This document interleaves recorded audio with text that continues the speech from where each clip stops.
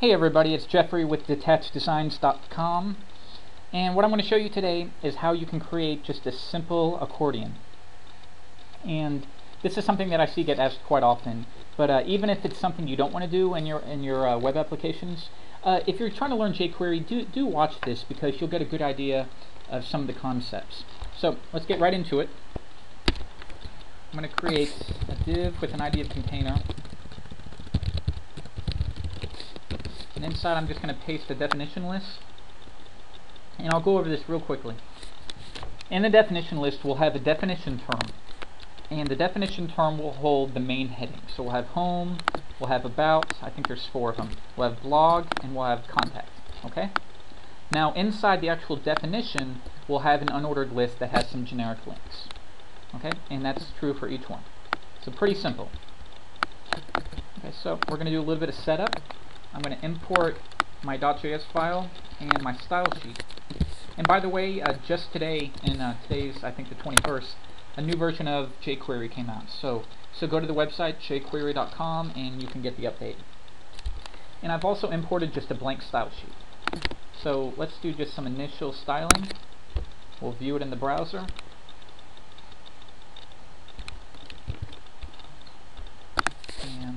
Get this set up, we'll do definition list, definition term, the definition, the unordered list, the list item. I think that's good. And we're just going to reset those margins back to zero so it's consistent across all browsers. And then for the anchor tag, let's get rid of that underline and just change the color back to a, a black. For the list item, let's give it a little bit of padding on the left. I don't know, say, um. And on the definition list, let's give the width, just state in pixels.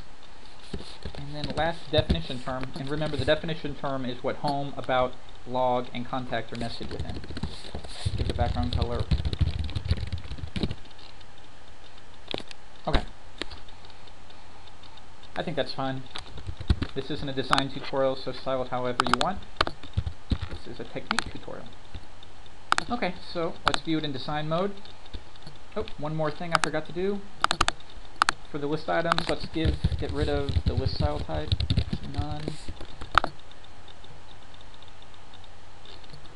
And let's do this. Within the container, the div container that we created, just set the margins to auto. Okay. So, we got everything set up. Let's just write some code script type equals JavaScript. Now it always helps me best if I just kind of go over out loud what I'm trying to accomplish. So when the user clicks, well first of all, we don't want all of these um, secondary links to be showing, so we want to get rid of them or hide them, maybe except the first bar. And then when the user clicks one of these main headings with the, the orange background, we want to close any other um, definition that is open and then we want to expand the one that the user clicked. Okay? So now that we have an idea of what we're trying to do, let's get started. We're going to do our standard document.ready. Okay, now a quick tip about this. What I'm writing here, it's just shorthand for this.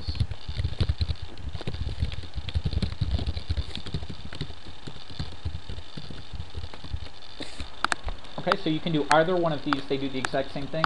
I'm just doing this because it's a little bit shorter, but neither one's better. So, let's go for the first part that, that I mentioned. We want to close all of the definitions except the first one, okay? So, to jQuery, we're going to get all definitions except the first one. Okay, so definitions, but not the first one. We're going to hide them. Okay, does that make sense? Get all of the definitions, but not the first one, which is right here, and hide them. So let's run that in the browser.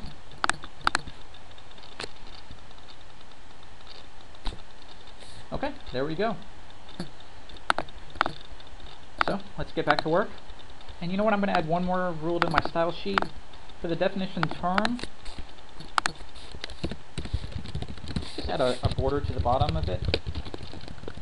Say um, one pixel solid black. Who cares? Yeah, that's fine. So, we're on our way. Next, when the user clicks on one of the headings, we want to display it and get rid of all the other ones. Okay? So, when, where's the heading? The heading is stored within the definition term. So we're going to get a definition term and the anchor tag within it. So we're, we're targeting this for each heading, for each, ah, excuse me, for each definition term. So when that is clicked, we're going to run a function.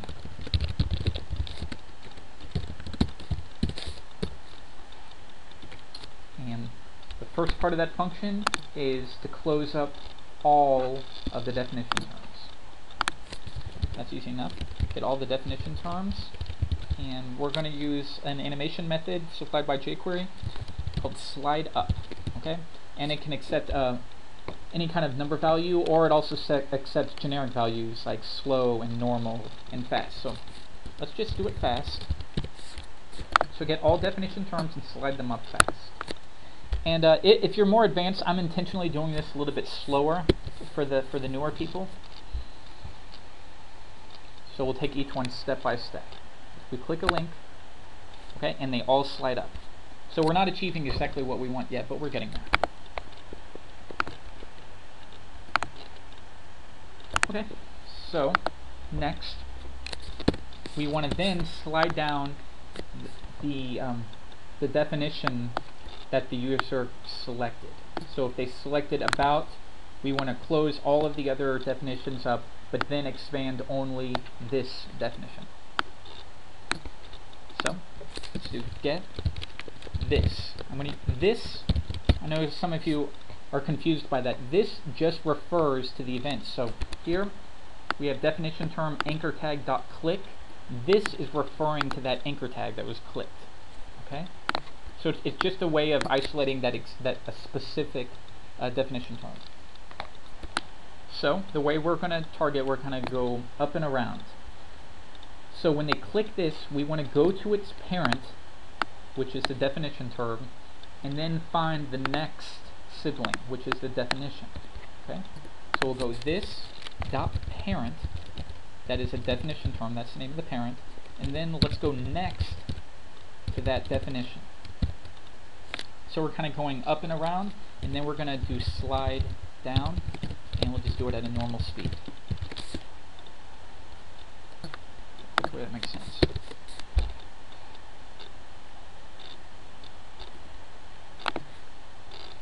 Okay. And let's see, I must have made some quick mistake. Definitions. Give me just a moment to work through this.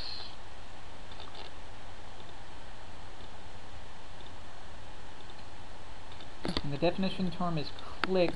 We're going to run a function. see the definition term. There it is. Sorry about that.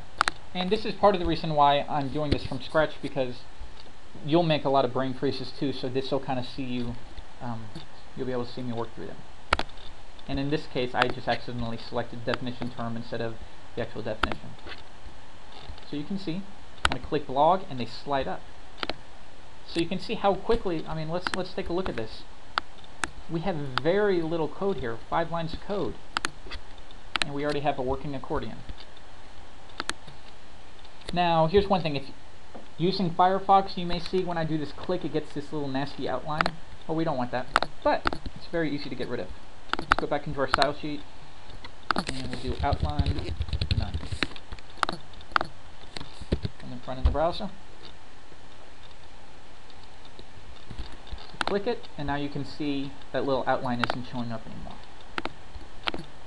So, as you can see with jQuery, it's, it's very simple to do these things, and you can immediately um, add some finesse to your menus. So if this helped you, please uh, visit detacheddesigns.com slash blog. I update it with tutorials at least every day, if not a couple times a day. So, thanks a lot everyone. Have a good day.